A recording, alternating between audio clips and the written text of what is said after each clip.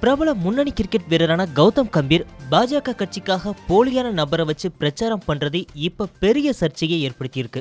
முன்னாள் கிரிக்கெட் வீரரான கௌதம் கம்பீர் பாஜக சார்பா டெல்லி கிழக்கு தொகுதியில லோக்சபா தேர்தலில் போட்டியிடுறாரு. சில வாரங்களுக்கு முன்னால இவரு பாஜக கட்சியில தன்னை இணைச்சுக்கிட்டாரு.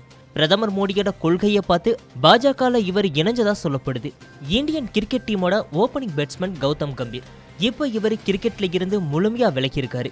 இந்த நிலையில கௌதம் கம்பீர் பாஜக சார்பா டெல்லி கிழக்கு தொகுதியில லோக்சபா தேர்தலில் போட்டியிடுறாரு. இவர் டெல்லியை சேர்ந்தவருங்கிறதுனால அங்க இவருக்கு வாய்ப்பு கொடுக்கப்பட்டு இருக்கு. தற்போது இவர் டெல்லியில தீவிரமா பிரச்சாரம் பண்ணிட்டு வர்றாரு. இந்த நிலையில கௌதம் கம்பீர் பாஜக கட்சிக்காக போலியான ஒருத்தரை வச்சு பிரச்சாரம் பண்றது பெரிய சர்ச்சையை ஏற்படுத்தி இருக்கு. இவர் கார்ல உட்கார்ந்துட்டு இருக்க வேறு ஒரு நபரை இவரை போலவே தொப்பி போட்டுட்டு மக்கள் கிட்ட வாக்கு கேட்கிறாரு அந்த நபரை பார்க்க கொஞ்சம் கௌதம் கம்பீர் போலவே இருக்காரு. இதனால அவரை வச்சு பிரச்சாரம் பண்ண சொல்லிட்டு கௌதம் கம்பீர் கீழே ஹாயா ஏசி காருக்குள்ள உட்காந்துட்டு இருக்காரு. இதுதான் பெரிய சர்ச்சையை ஏற்படுத்தி இருக்கு இது தொடர்பான போட்டோஸும் சோஷியல் மீடியாக்கள்ல ரிலீஸ் ஆகியிருக்கு.